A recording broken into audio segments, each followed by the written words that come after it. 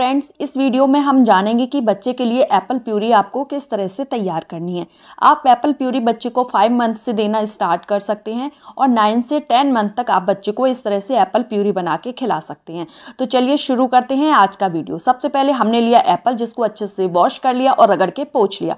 उसके बाद एप्पल के दो से तीन टुकड़े हम कर लेंगे पतले पतले और पीछे का छिलका मैंने अभी नहीं निकाला है। ऊपर के सीड्स मैंने यहाँ पे निकाल है, अच्छे से साफ़ कर लिया है। उसके बाद हम पीछे का छिलका भी निकाल देंगे। अगर आप चाहें तो छिलका ना भी निकालें तो भी चलेगा, अगर आप एक्स्ट्रा फाइबर बच्चे को देना चाहते हैं। इसमें एक बात का आपको ध्यान रखना है कि अगर आप छिलका साथ में कर रहे हैं तो बच्चे को एक्स्ट्रा फाइबर तो मिलेगा, लेकिन आपको थोड़ा सा ज़्यादा कुक करना पड़ेगा। बस इतनी सी प्रॉब्लम है। और उसके बाद हम छोटे छोटे टुकड़े कर लेंगे, हल्के से पतले से करेंगे, ताकि अच्छे से हम इसको स्टीम कर पाएँ। तो यहाँ पे छोटे टुकड़े मेरे हो गए हैं। उसके बाद गैस पे रखा मैंने एक बर्तन, जिसको लो और मीडियम फ्लेम कर कर लिया है मैंने। थोड़ा सा इसमें हम डालेंगे पानी। आरओ वाटर मैंने यहाँ पे डाला है। इसको हल्का सा बॉईल कर लेंगे। बॉईल ना भी हो तो भी कोई बात नहीं। आप पहले भी सारी चीज़ें कर सकते हैं। उसके बाद मैंने एक चलनी ली, उसके ऊपर रख दी। आप इस प्रोसेस को किसी और तरीके से भी डाल सकते हैं, कोई दिक्कत नहीं। उसके बाद सारे एप्पल मैंने इस तरह से डाल दिए और डालने के बाद आप चाहें तो इस पर कुछ प्लेट वगैरह भी रख सकते हैं या आपके पास कोई ढक्कन हो या कुक करने वाला कोई भी इस तरह की चीज़ हो, वो भी आप उसमें भी कर सकते हैं।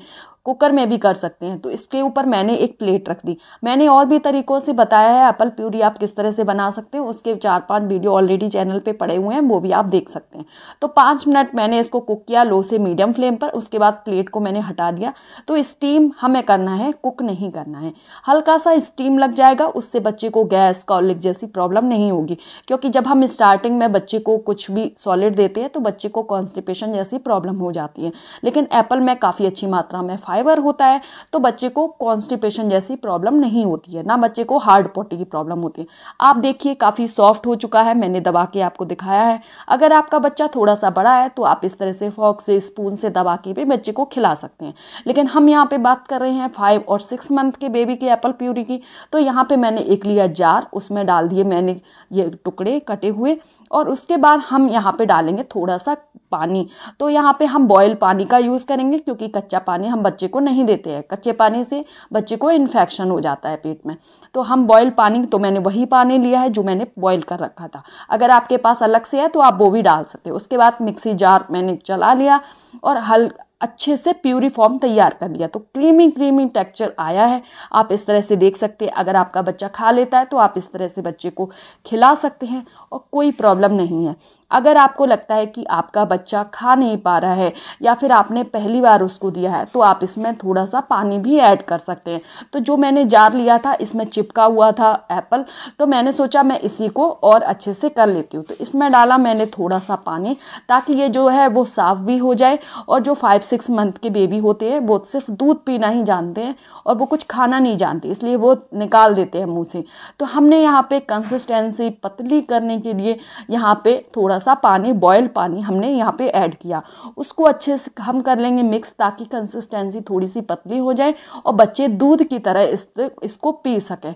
इससे बच्चे को सॉलिड में अच्छा फाइबर मिलेगा और बच्चे को काफ़ी पौष्टिक चीज़ें मिलेंगी। इस प्यूरी को आप सेवन मंथ तक रख सकते हैं, लेकिन उसमें आपको पानी मिक्स नहीं करना है।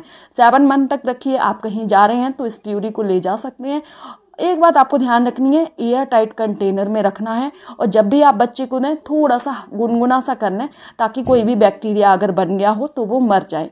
हल्का सा गुनगुना करके ही आप बच्चे को खिलाएँ, इससे बच्चे को काफ़ी ठीक रहेगा। कोशिश करिए कि फ्रेश बना के ही खिलाएँ, लेकिन अगर आप सफ़र में जा रहे हैं, होटल में कोई सुविधा नहीं है, आप पहले से बना के ले जाना चाहते हैं तो आप बच्चे को इस तरह से बना के खिला सकते हैं। एयर टाइट कंटेनर में आपको ले जाना है और बच्चे को दो चम्मच आप बच्चे को डेली खिला सकते हैं। तो इस तरह से आप एप्पल की प्यूरी बना के बच्चे को खिला सकते हैं। बच्चे को इससे काफ़ी अच्छे बेनिफिट्स मिलेंगे। वीडियो पसंद आए तो लाइक करिए।